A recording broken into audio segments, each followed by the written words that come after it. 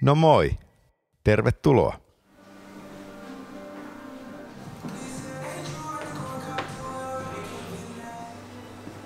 Tervetuloa. Hi. Joo. Tarvitsitko apua? I want an ice cream, but I do not know what yet. Um, mm, minä katson.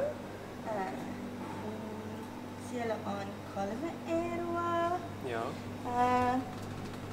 Äh, tämä on 20, no 250 euroa. Oho. Okay. Mm, I would like the mint. Anteeksi, minä en ymmärrä eh, englantia. Ah, mint supi. Okei. Jaottelu. Okei. Se maksaa 25, 2,50 euroa. Mitä? Donna, se on puhekieltä, speaking language. Yksi, Kaksi. kaksi, kol, nel, Nel. viis, Viis. kyt, Viiskut. kaks, viiskyt. Okei. Saa ymmärrän nyt. Minä haluan mint. Jaottelu. Okei.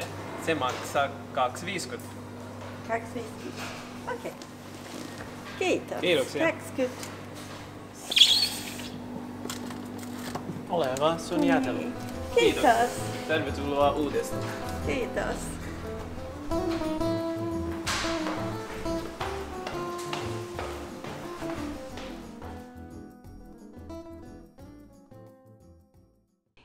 If the price is one euro, we often don't say yks, but just euro viiskyt. One euro fifty cents. Euro viiskyt. Tens. While in the official Finnish we say kaksi euroa kaksikymmentä senttiä, in speaking language we say kaksi euroa kaksikymmentä senttiä, or kaksi kaksikymmentä. 2 euroa 20 senttiä. 2,20. So the long word kymmentä is shortened to a kyt. Kyt. And it, it goes with all the tens above 20. 20. 30. 40. 50. 60 seitkyt, kahdeksakyt, yhdeksäkyt. But ten is still kymmenen. Euro kymmenen. One euro ten cents. Euro kymmenen. Kiitos. Nähdään Kimarassa.